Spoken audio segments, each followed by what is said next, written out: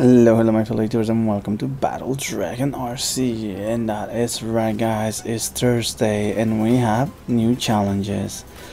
So I did wake up pretty early so I can get this done for you guys and also I'll be loading them later on the day but for today's mission we have collect stone from Rapids Rest. So here's the location guys, you can see it's a little bit to the right of Lazy you're going to see a lot of rocks there. There you go guys, on the map you can pause it and see exactly where it is. So we are just to get to it boys.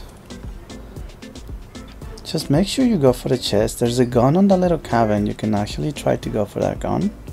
Or just directly to the chest. There's a chest here between these rocks. So there you have it guys. We are going to get this chest over here just in case somebody tried to jump us. And we're just gonna start gathering this stone guys. So there you have our first one guys. We got 90 out of that one.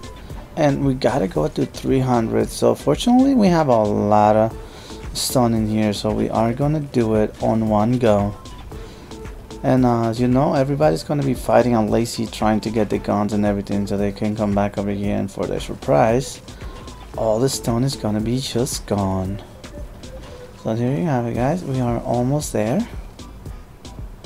And this is probably our last stone guys.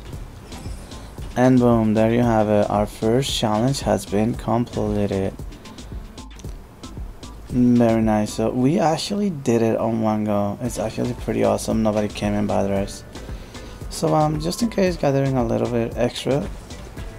But there you have it guys. I hope you guys don't have any problems doing this guys Thank you for watching.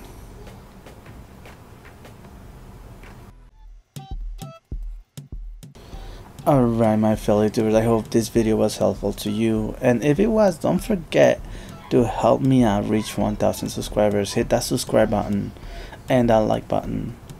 And as always, it's always, always a pleasure helping you guys out and I will see you next time.